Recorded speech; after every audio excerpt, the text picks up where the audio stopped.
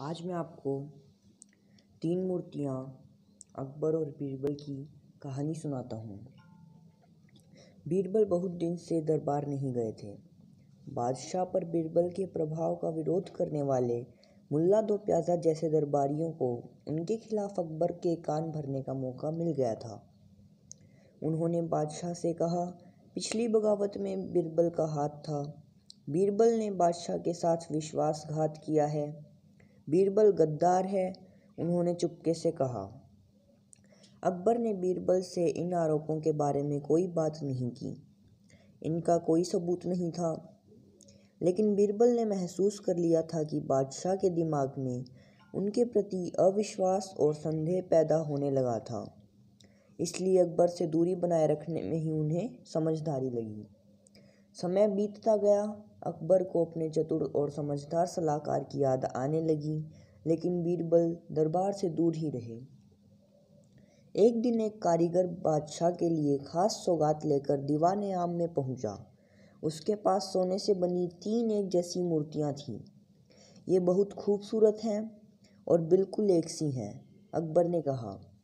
कारीगर ने सिर हिलाते हुए कहा, आलम पनाह ये पूरी तरह एक जैसी नहीं है। इनमें से एक बाकी दोनों से बेहतर है। लेकिन इनमें फ़र्क जानने के लिए बहुत पैनी नज़र और तेज़ दिमाग की ज़रूरत है।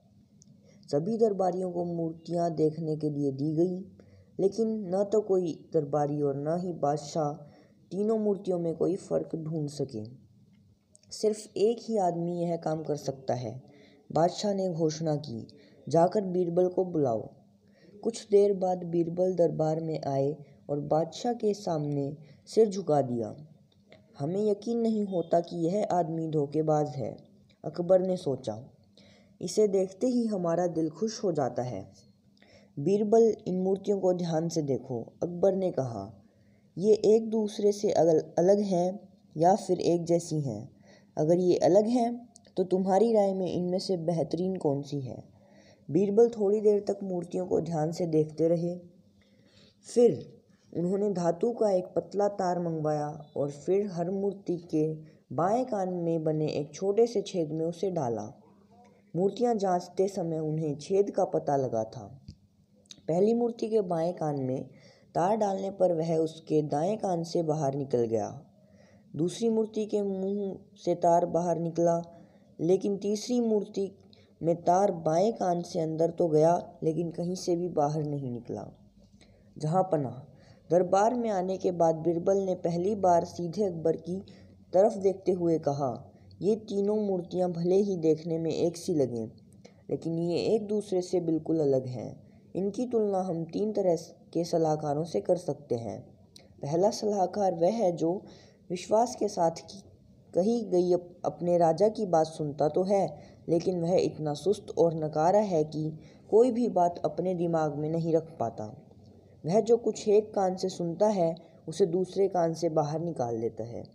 दूसरा सलाहकार वह है, जो राजा की बात तो सुनता है, लेकिन मौका मिलते ही उसे बोल देता है। ऐसा सलाहकार कोई भी महत्वपूर्ण बात गुप्त नहीं रख पाता। तीसरा सलाहकार अपने शासक की हर बात सुनता है और उसे अपने तक रखता है। न तो वह कुछ भूलता है और न ही राजा के विश्वास को तोड़ता है।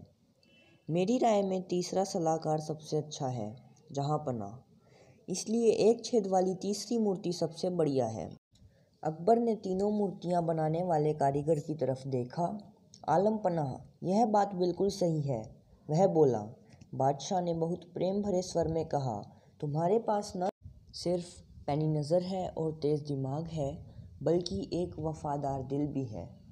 ये तीनों मूर्तियाँ तुम्हारी हुई। तुम्हारी योग्यताओं के प्रति, हमारे सम्मान की निशानी के रूप में तुम इन्हें अपने पास रख सकते हो। तो फ्रेंड्स आज की वीडियो अकबर और बीरबल की कहानी की, जिसका नाम है तीन मूर्तियाँ। अगर आपको वीडियो पसंद आई हो तो इसे लाइक करें शेयर करें कमेंट करें। हमारे चैनल हिंदी ज्ञान टेक वन को सब्सक्राइब करें और उसके पास बेल बटन को दबाना बिल्कुल भी ना भूलें। Thank you for watching. जय हिंद, वंदे मातरम, जय भारत।